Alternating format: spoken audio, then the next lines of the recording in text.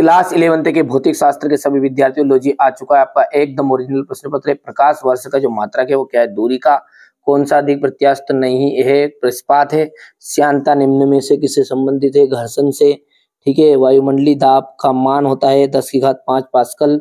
रेखी संवेग के घूर्णन को कहते हैं कोनी संवेग। ठीक है। सेकेंडी लोलक का आवर्तकाल सेकेंड होता है। शक्ति जो है एक अधिस राशि है।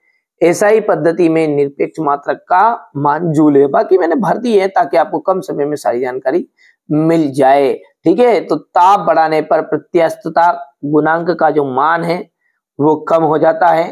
ठीक है? द्रव चलित लिफ्ट, ठीक है? पास्कल के सिद्धांत पर आधारित है। अभी केंद्रीय त्वरण। यहाँ से देखिए। अभी केंद्रीय त्वरण का जाएगा आपका ये पहला, गैस के दाब का जाएगा, ये यहाँ से दूसरा जाएगा और अब ये यहाँ से संवेग का आपका तीसरा हो जाएगा। ठीक है? तो ऊर्जा का आपका जूल और पलायन वेग में आप लिख देना और ये यहाँ से, ठीक है?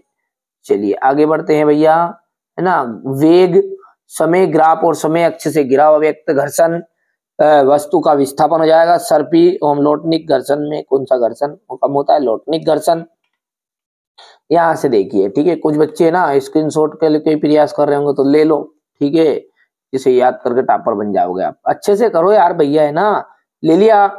चलिए, अब यहाँ से जो खास चीज़ है, जो बचा हुआ है वीडियो में यहाँ तक, उसके लिए देख लो, है ना? वीवी विश्लेषण के लिए उपयोग हंड्रेड परसेंट श्योर आएगा। एक समान परिवर्तित त्वरण को परिभाषित कीजिए। सदिशों के योग संबंधित त्रिभुज का नियम, घर्षण को कम करने के, बढ़ाने के उपाय ठीक है? जी और जी में कोई तीन अंतर बताना आपको ये दो अंतर लिख देना।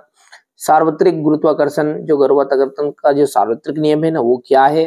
तापी प्रसार, रेखी प्रसार, गुणांक तथा आयतन प्रसार, गुणांक में संबंध स्थापित करना है आपको। चार्ल्स का नियम लिखना है, सरल आवर्त गति में विस्थापन समीकरण कोनी आवृत्ति एवं आवृत्त काल के संबंध बताइए, तरंगों के अध्यारोपण का सिद्धांत लिखना है। अप्रागामी तरंग किसे कहते हैं? कोनी संवेक संरक्षण का नियम। बर्नौली का सिद्धांत लिखिए, स्पष्ट कीजिए। ठीक है भैया, आप तो मेहनत करना है, जो बच्चा मेहनत करेगा बार बार बोल रहा हूँ, मेहनत करोगे तो फल मिलेगा ही मिलेगा। ठीक है, मूल मात्रा तथा व्युत्पन्न मात्रक में अंतर, कौन संवेग तथा बल आगुण में संबंध स्थापित करना है, ये हो गया क्वेश्चन नंबर बर्नौली सिद्धांत। ठीक है, ये तो आपकी अर्धवार्षिक का पेपर है ना? वार्षिक परीक्षा के लिए जो बच्चा अच्छी मेहनत करेगा, अच्छे से तैयारी करना चाहेगा, बिल्कुल आपको फ्री सारी चीज़ें मिलेगी। ये आपका क्वेश्चन नंबर सत्रह हो गया है। ये अनुधेरी और अनु, अनुप्रस्थ और अनुधेरी तरंगों में अंतर ठीक है ये क्वेश्चन नंबर आपका उन्नीस